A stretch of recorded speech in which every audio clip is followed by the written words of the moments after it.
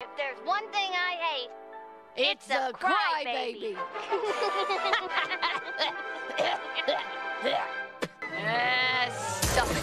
Ah, somebody get me a pinball hammer. What can I do? He's my nephew. what happened to your TV set? It's having a bad day. My famous walnut fig dough surprise. What's the surprise? I'm out of walnuts. Doug the dog? But he hates you, Aunt Slappy. He's been trying to eat you for years. Thank you, Mr. Exposition. I think we should just go to the store and buy a bag of walnuts. Oh, yeah, we'll have him in hysterics with that bet.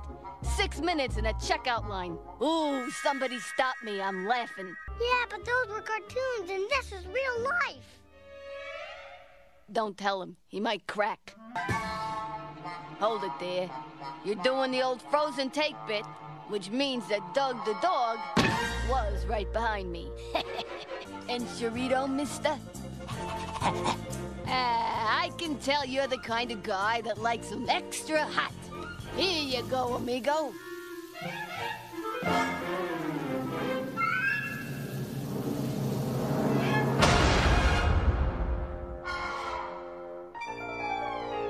What a schmutz.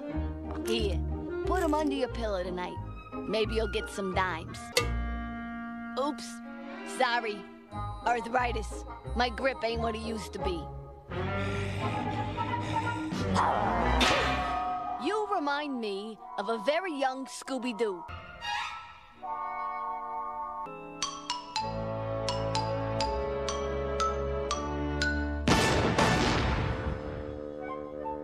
Old gag, new twist.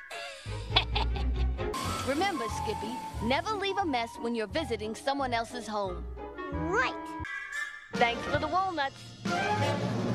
Hey, Lionel Hampton, these last two nuts you gave me are rotten.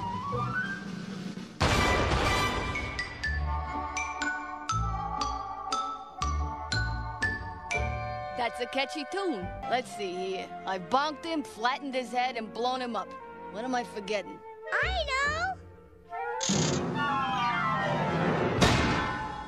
Told you my walnut fig dough was brain food. now that's comedy.